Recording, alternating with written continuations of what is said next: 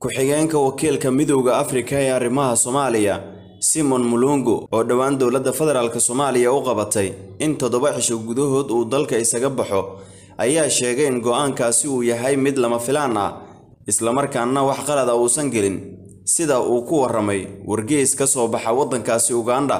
ee lagu magacaabo daily mirror ma fahmin ereyada ku qoran warqadda wax war ah kama hayo go'aanka mana garanayo sababta ka dambaysa ayuu yidhi diblomaasigan u dhashay dalka ugandha xilli uu khadka telefoonka ugu warramayay wargeyska lagu magacaabo daily mirror ee ugandha isaga oo sii hadlayay simon mulungu ayuu sheegay in ka jawaabidda go'aanka dowladda federaalka ee dalka uga ciirisay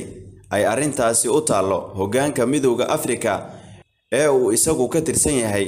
kana soo jeedo dalka ugandha wasiirka wasaaradda arrimaha dibadda xukuumadda federaalk soomaaliya maxamed cabdirasaaq maxamuud ayaa sheegay in mulungu